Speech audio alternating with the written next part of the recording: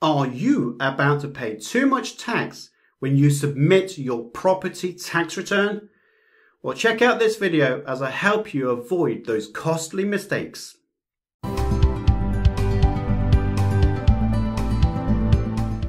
Hi there, my name is Simon Misiewicz from Optimise Accountants. I'm here to help you grow your wealth whilst reducing your tax liability.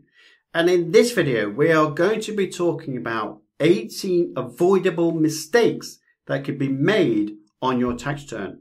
How much more tax will you pay as a direct result of the mistakes that are made on your tax return caused by you or indeed by your accountant without you even knowing?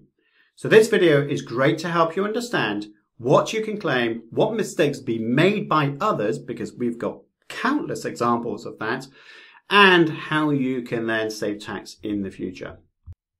Now let's talk about the property tax issues that you have. Now, the first thing I would say is this is going to go in order of the tax return, but there are mistakes even at the front end. The fact that you could have property between husband, wife, civil partners, and you've got the property income 50-50 split, even though one person is a basic rate taxpayer, one's a high rate taxpayer all of a sudden you're paying far more tax straight away. So you've not even had that starting point in the correct fashion. You need to make sure that you speak to your tax specialist, your accountant, to look at ways that you can apportion income in the most effective way. I'm going to use my um, laser pointer for the rest of this presentation to make it easier. Uh, we talk about income now. Um, there are different ways of using your tax returns in terms of how you populate that information. There's the accruals basis and cash basis. Make sure you speak to your accountant about that if you're not sure what the differences are. But ultimately, cash basis is much more effective if you are doing tax return. Why? Well, there may be times when your tenant has not paid you in the tax year. You may be expecting 12 payments, but you've only received 10 or 11. As a result of that, you'll pay less tax because you've got less income using the cash basis. What else do we have? Property income allowance. Now, did you know that if you don't earn more than a thousand pounds, then you don't have to pay tax on that property income. So as long as the gross income is less than a thousand pounds in a given year, you do not need to pay any tax at all. And yet people, it's right there on your tax return. And yet people just circumnavigate it because they're rushing. Oh, let me guess. The 30th of January or the 31st of January. So they don't have time to read these notes, which is clearly says, read the notes. And they pay tax on their property income, even though they don't need to. What a crazy way to handle your tax affairs.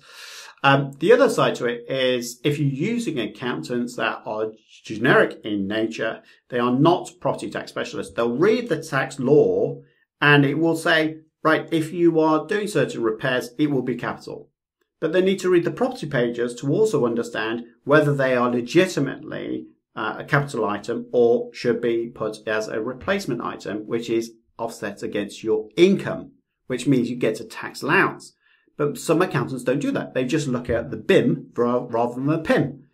BIM, PIM. Uh, what's the difference? Well, that's just the HMR legislation. Okay, so go ahead and read that.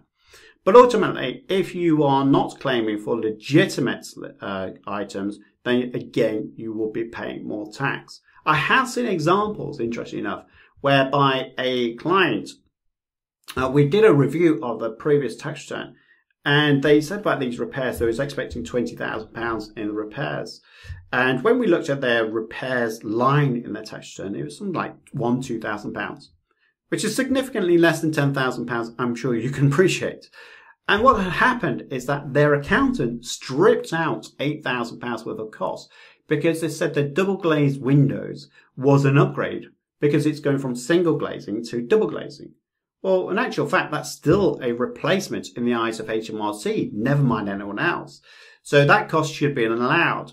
Now, the fact that the client in question did not challenge the accountant and allowed these costs to be stripped out, which, by the way, if they're stripped out of this, that also means that what they won't claim that cost against the capital gains tax liability.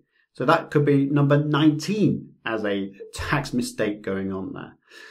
So do make sure that you, you are aware of the three R's, which is the repair, replace, renew. If you can categorize any of those costs, then you can get the tax relief, but many people don't. Not keeping receipts. If you do not have a receipt for the expenditure by some sort of uh, tradesperson who says, well, pay me in cash, I'll give you a discount, but you might be losing the tax relief on that. So they might save you, you know, £100, £200, but then all of a sudden, because you don't have the receipt, you are now in a position whereby you're paying £500 worth of tax. Why? You're not doing yourself any favor. Make sure you get a receipt from that tradesperson. Make sure that the description of that invoice doesn't just say property refurb. Because if you are investigated, then ultimately the HMRC could easily say, well, that just says refurb. That's capital. Now you have to prove yourself innocence, right? You are guilty. Did you know that? Before you are proven innocent.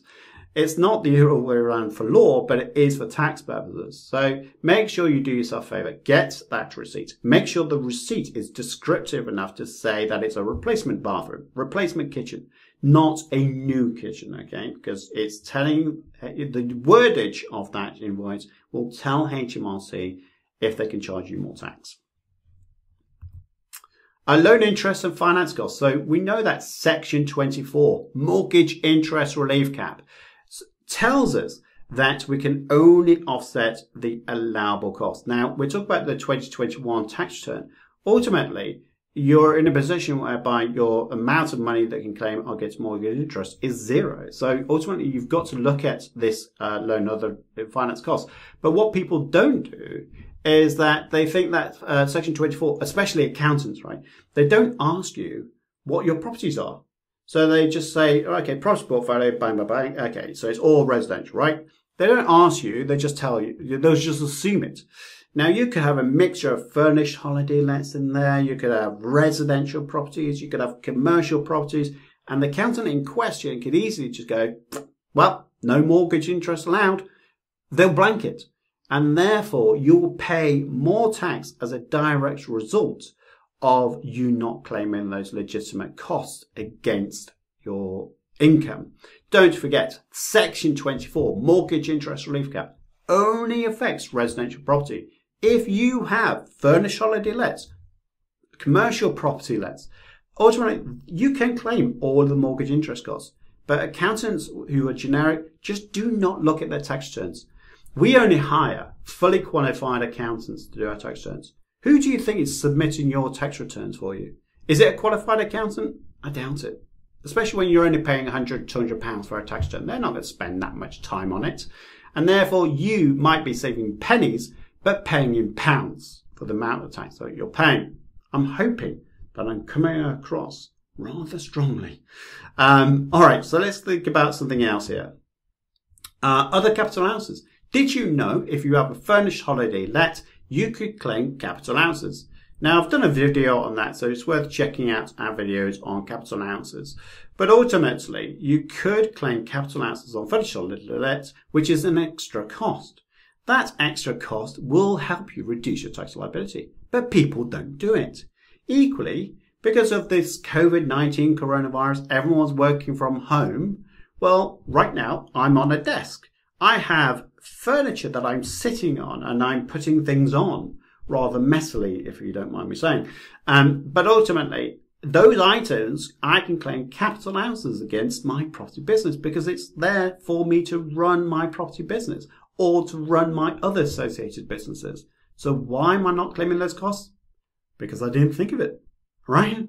So ultimately, you need to make sure that you're claiming it. No cost, no tax relief. Cost replacing uh, domestic items. Again, a section on property tax return that I see people do not claim for. Now, you might have bought a property, and let's imagine you buy a property from a, a couple. Now, they're downgrading for one reason or another, or they're going to a residential care home. Now, they might choose to leave the furniture in there because they said, well, would you mind getting rid of it for us? Or actually, would you like this furniture? And you say, yeah, yeah, sure, fine. You're being nice. You're going to skip it anyway. But did you know that you could claim for those items if you do indeed replace it with new furniture, especially if you're doing professional lets or student lets as for a HMO. Not only that, which is another mistake that people don't think about when they're buying a property, they just look at the purchase cost of the property and say, right, okay, that's it. Do my SDLT return. And their solicitor won't bat an eyelid because again, they're transactionally focused. They're not worried about how much stamp duty land tax. They're just going to use the generic HMRC SDLT tax calculator, which often produces the wrong results. So most time out of 10, I rather suspect that people are overpaying SDLT and well, I'll leave it there. So solicitors do need some support from you if you are buying a property that has furniture in it because you those those furniture items is called chattels and you do not pay stamp duty land tax on chattels. You only pay stamp duty land tax on the bricks and mortar value. So have you overpaid stamp duty land tax? Well i would suspect yes. And we've got other allowable property expenses. This field is in your tax return but again, people are not claiming for travel costs when they're going to see a letting agent, whether they're going to see a state agent, whether they go to a network event, education event for the business, for the property business.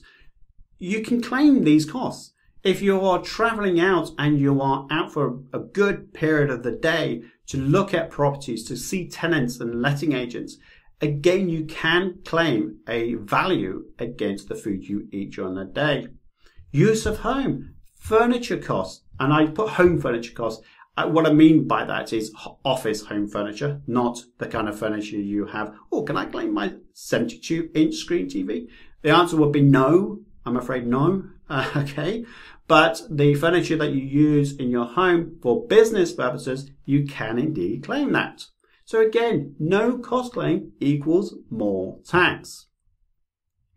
And then we got residential finance costs not included in box 26. Again, people do not understand some of these numbers. So as a result, they don't fill it in or they put in the wrong number. And what you need to be doing on here is if you've got residential property, going forwards, you will need to put the full value of your mortgage interest costs in this box. Now, if you don't do that, you do not get the 20% tax relief. Now, I do a lot of tax consultations, and it's amazing when people say, but I didn't think I could get tax relief on the mortgage interest. What does that suppose? That presupposes that people are submitting their tax return, not completing this box, which means that pay, maybe if they're getting £10,000 worth of mortgage interest costs, are they putting that £10,000 in this box? Which means they can get even, you know, as a high rate taxpayer, you still only get 20% tax relief. But that's still £2,000 worth of tax that you have overpaid because you've not put in that number. Crazy. Um, so just be careful with all these mistakes, which is costing people thousands upon thousands. And losses brought forward. Again, people, I've seen tax returns that they've uh, done it one tax year, year one, let's say, they've got a loss of 2,500, which they could legitimately carry forward. And this is including the finance cost losses as well, by the way. And they put the new tax return in, and then they come to us and say, well, there's my, my second year tax return. Uh, can you use that for the third year, which we then look after. And we look back and we say, well, you've got no losses. No, no, I've got losses, definitely. I've definitely got losses. It's not on your tax return. And therefore, those losses would not help reduce their in-year profits, which means no losses equals more tax. Can you see where I'm going from this? There are, like I say, there are 18 mistakes. I, haven't even been trying to find the mistakes. This is just based on uh, recent evidence and recent discussions I've had with my tax team to understand what problems they're facing. So how many more mistakes are there? Now, if you want to book a, a call to discuss our services, there's a link appearing above my head right now and below this video. Equally, don't forget that you can book a tax consultation to find out how we can help you reduce your tax liability. Use the code YouTube25 to get your 25% discount. Again, a link's above my head and you've guessed it, below this video as well. Um, so are you doing your tax return right now? How easy is it? How difficult is it? How confused are you? Let's have a chat about that and drop a comment below this video. Don't forget to press like if you've enjoyed this video, if it's given you some ideas, and don't forget to subscribe to this channel so I can notify you every time there's a new video that I release. Until next time, my name is Simon Misiewicz from Optimise Accountants. I'll see you again soon.